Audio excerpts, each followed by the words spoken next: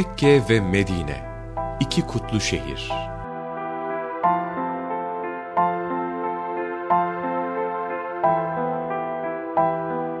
Cenab-ı Hakk'ın övgüsüne mazhar olmuş mukaddes beldeler.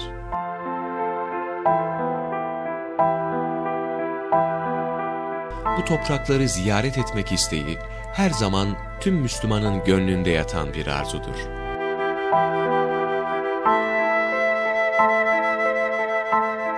Şiirlerinde, kasidelerinde, ilahilerinde hep dillendirirler bu arzularını.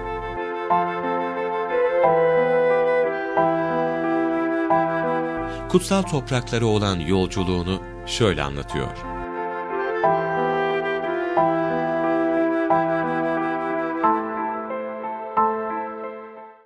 Also im April war ich in Mekka und Medina. Wir haben dort Umrah gemacht. Also wir waren mit unserer Jugendgruppe von der Moschee und was natürlich dadurch nochmal schöner wurde, weil du dort mit den Leuten bist, die du sehr magst. Und wir sind dort angekommen, das war Anfang April.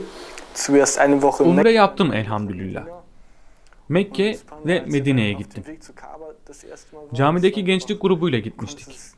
Sevdiğin insanlarla gitmek daha da güzel oluyor. Nisan ayının başında oraya vardık. İlk bir hafta Mekke, sonra bir hafta Medine'deydik.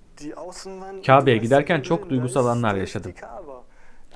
Çünkü herkesin namaz kıldığı yöne doğru gidiyorsun. Dış duvarını görüyorsun ve biliyorsun ki içerisinde Kabe var. Öğle namazı vaktiydi. Orada namaz kıldık, sonra içeri girdik ve Kabe'nin karşısında durduk. Ne yapacağını bilmiyorsun o an. Aklıma gelen tüm duaları yaptım. Bambaşka bir şey. Çok sıcak olduğu için kalabalığın az olduğu öğle vaktinde gidiyorduk Kabetullah'a. Kabe'ye 3 metre uzaklıkta tavaf yaptık. Kabe'ye sarılıp dokunabiliyorduk. Umre'ye gitmeden önce orada yapmak istediklerinle ilgili dileklerim vardı ve hepsi gerçekleşti. Ben hep Şeyh Sudeysi'nin arkasında namaz kılmak istiyordum. Sabah namazında ilk sıralarda imamın 5-6 metre arkasında namaz kıldım. Bunlar çok güzel şeyler. Kafilemizle Hira Dağı'na çıktık. Akşam namazı vaktiydi ve peygamberimize ilk vahiy geldiği yerde namaz kıldım. Bunlar çok güzel hatıralar. Tarif edilemeyecek şeyler. Oradaki hayat da çok başka. Mesela burada tanıdığım birilerini sokakta gördüğün zaman selam verince aleyküm selam diyorlar. Ama orada tanımadığın birine selam verince dahi çok seviniyor ve mutlu bir şekilde aleyküm selam diyorlar. Namazı kılmayı beklediğimiz zaman da tanımadığım insanların arasında oturuyordum. Orada Paris'ten gelen biriyle konuştum ve o beni hiç tanımadığı halde Paris'e davet etti. Bunlar çok güzel ve tarif edilemeyecek duygular. Medine'de Ravza'da namaz kıldığımız zaman cennette namaz kılmış gibi kabul ediliyor. Düşünsenize bu büyük mükafatı. Peygamber Efendimizin mezarının olduğu yerde duruyorsunuz. Bütün yükü çeken, İslam dinini yayan, her şeyden vazgeçen büyük insanın kabrinin yanındasın. Ümmetinin selameti için kayıplar veren, sadece senin Müslüman olman için büyük acılara katlanmış bir insanın, Peygamberimizin mezarının karşısında duruyorsunuz. Düşünsenize. Ne düşünüp ne diyeceğinizi bilemiyorsunuz. O kadar değişik bir şey ki bu tarif edilemez. İslam'ı yaşamayan Müslümanlar bence büyük bir ihanet içerisindeler. İnsanlar efendilerin efendisi, o büyük peygamberi hiç yaşamamış gibi davranıyorlar. Onun sünnetini terk ediyorlar. Peygamberi ve Allah'ı seviyorum, Müslümanım diyorlar ama sünnetlerini yapmıyorlar. En son ne zaman teheccüd namazına kalkmışız? Bunu dahi kendimize kaç defa sorabiliyoruz?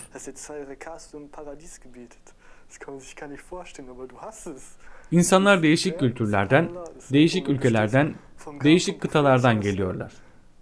Ama İslam insanları hacda birleştiriyor. Kültür ve dil farklılıkları ortadan kalkıyor. Orada hiç tanımadığın insanlara sarılıyorsun. Tanımadığın insanlarla aynı safta namaz kılıyorsun. Mekke ve Medine'de İslam kardeşliğinin sağlamlığını tekrar anlıyor ve görüyorsunuz. Aslında her yerde öyle olması lazım ama olmuyor. Hacdaki İslam birliğini sadece İslam başarıyor. Ne insanlar tarafından yapılan yasa ne de başka dinler bu evrensel birliği ve ümmet bilincini başarabiliyor.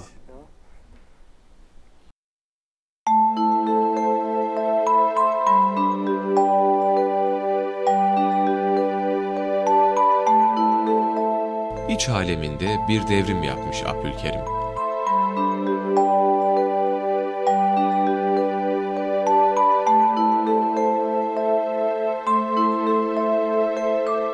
Yüce Allah'ın nasipli kullarından olma şerefine erişir, Müslüman olur.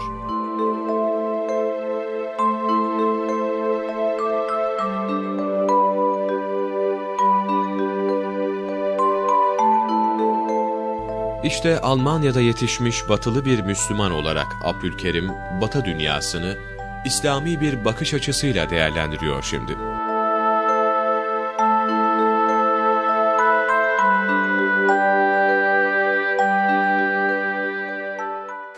Allah sagt sinngemäß im Koran, und was immer die Ungläubigen versuchen, um Allahs Licht mit ihren Mündern auszulöschen. Allah Kur'an'da şöyle diyor. Onlar kafir ve münafıklar ağızlarıyla Allah'ın nurunu söndürmek isterler. Allah ise nurunu tamamlayıcıdır. Kafirler hoşlanmasalar. Yüce Allah, inkarcı toplumlara verilmesi gereken cevabı Kur'an-ı Kerim'de zaten veriyor. İnsanlar İslam'a karşı dursalar da onu politikada, bilimde ya da medyada kötüledikçe Müslüman oluyor. İstediklerinin tam tersi oluyor. Müslümanlar hakkında konuşacaklarına Müslümanlarla konuşsunlar. Uydurma ve yalan dolu televizyon programlarında başörtüsü ve bunun gibi uygulamalarla Müslüman kadınlar baskı altında tutuluyor deniyor. Alman medyasında. Sadece yorum ve tahminde bulunuyorlar. Ama doğruları öğrenmek için gidip bir Müslüman kadına bunu sormuyorlar. Sorsalar istemedikleri cevaplarla karşılaşacaklar ve dolayısıyla İslam düşünce ve inanç sistemini karalama planları suya düşecek.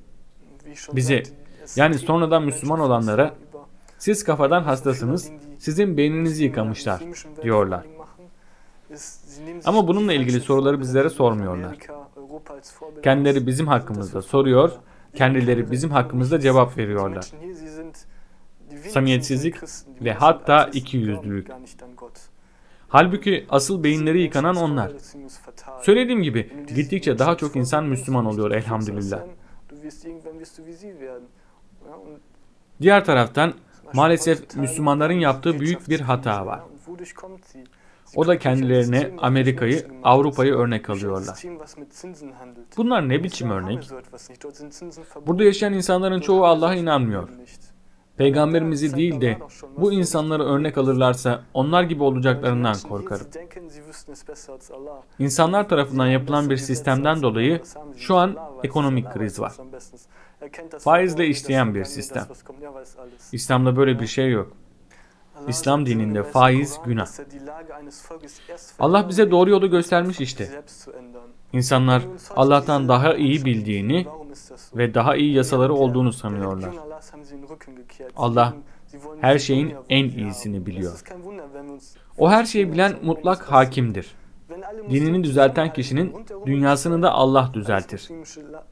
Müslümanların durumu neden böyle? Allah'ın dinine sırtını çevirmişler. Dünya için yaşıyorlar. Filistin'de olanlara şaşırmamanız gerek. Çünkü İsrail'in etrafındaki Müslüman ülkeler birlik olsa bunlar olmaz. Eski tarihlerde olduğu gibi Müslümanların içerisinde sorunlar olduğunda ve İslam'a göre yaşamadıklarında Haçlı seferleri başlamıştı. Aynı şeyleri şu anda da yaşıyoruz. Müslümanlar Kur'an'a ve sünnete göre yaşadıkları zaman güçlü olmuşlardır. Mesela Hazreti Ömer zamanında Şam civarında bir kale kuşatılır. Fakat kale fethedilemez. Hazreti Ömer sinirle gelir. İslam askerlerini huzuruna çağırır. Kale fethedilemedi. Kafirler İslam askeri karşısında bu kadar dayanamazdı. Aramızda birisi bir kusur işlemiş olmasın buyurur. Askerler hayret edip tövbe ve istiğfar etmeye başlar. O sırada bir kişi ağlayarak Hazreti Ömer'in huzuruna gelir. Ey müminlerin emiri! Bu gece teheccüde kalktığım zaman karanlık olduğu için misvakımı aradım fakat bulamadım. Bu sebeple misvaksız namaz kıldım. Sizin aradığınız kusuru ben işledim der. Hazreti Ömer ona tövbe ve istiğfar etmeye devam et buyurur. O da tövbe ve istiğfar okumaya başlar. Kısa bir süre sonra kale fethi olur. Müslümanlar azken Roma ve İran'a karşı yapılan savaşlardaki zaferlerini Kur'an ve sünnete göre yaşadıkları için kazanmışlardır. Düşmandan daha az günahları olduğu için Allah onlara yardım etti. Allah'ın onlara uzattığı yardım ipine sımsıkı sarıldılar ve kazandılar. Biz de kültüre, adete, töreye göre değil de Kur'an ve sünnete göre yaşarsak kazanırız. İslam ve imanla donatılmış İslam saflarını hiç kimse bozamaz. Peygamberimizin dediği gibi sünnet ipine sıkı tutunmamız, bunu hayata geçirmemiz lazım.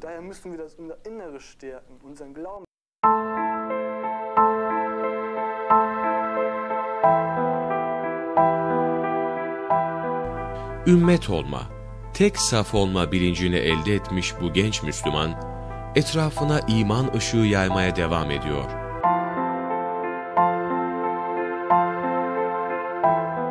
Müslümanlarla beraber olmayı ve onlarla beraber yaşamayı ayrı bir mutluluk ve huzur olarak hisseden Abdülkerim'i, arkadaşı Asım'dan dinleyelim.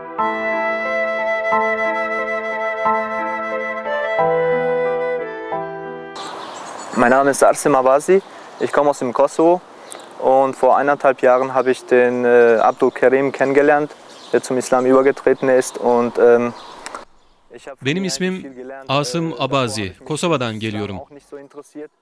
Önceden İslam'la çok ilgilenmiyordum. Abdülkerim'le tanışmadan 6 ay önce namaza başlamıştım ve e, bana İslam konusunda yardımcı olacak ve bana namaz kılmayı öğretecek birisini arıyordum. İslam'da ne yapabilirim, ne yapmam diye soruyordum. Üç buçuk sene önce Müslüman olan Abdülkerim'le tanıştım. Ondan çok şeyler öğrendim. O ne diyeceğini düşünen, hoşgörülü, çok sabırlı bir insan. Birçok Müslüman için büyük bir örnek. Müslümanları düşünmeye sevk ediyor. Benim ve benim gibi İslam'ı yaşamayan pek çok insanın ve onun gibi iman dolu insanlara ihtiyacı var. Elhamdülillah. Allah beni ve Abdülkerim'i doğruya yöneltti. İnşallah Rabbim diğer insanları da doğruya yöneltecektir.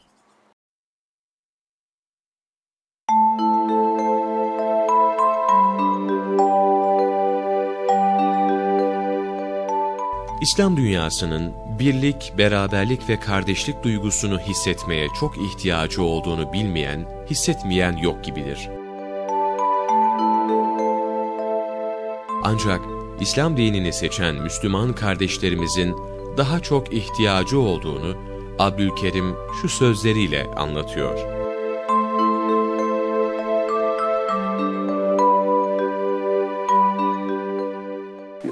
Ja, und wenn wir das wieder einführen in unser Leben, wenn wir diesen Kulturislam weglassen, ja, auch generell, wir haben viele türkische Vereine hier in Deutschland, aber was machen sie? Almanya'da birçok Türk derneği var.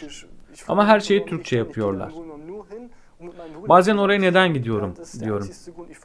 Çünkü hiçbir şey anlamıyorum. Sadece arkadaşlarımla birlikte olmak için gidiyorum. Elhamdülillah. Son zamanlarda Müslüman olanların sayısı arttı. Çok Müslüman olanlar var. Müslüman olan kişilere yönelik bir şeyler yapılması çok acil ihtiyaç. Müslümanlara tavsiyem şudur. İlk önce temelden Müslüman olan Türkiye veya diğer Müslüman ülkelerden olanlar İslam'a göre yaşasınlar. Allah onlara istedikleri her şeyi verecektir.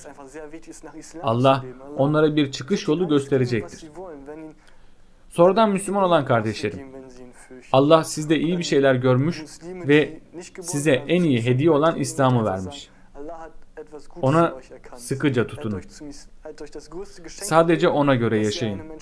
O zaman inşallah cennette görüşeceğiz. Egal was ist, egal was, wenn jemand irgendwas Schlechtes über euch sagt, haltet daran fest und inshallah wir werden uns alle im Paradies wiedersehen. Amen.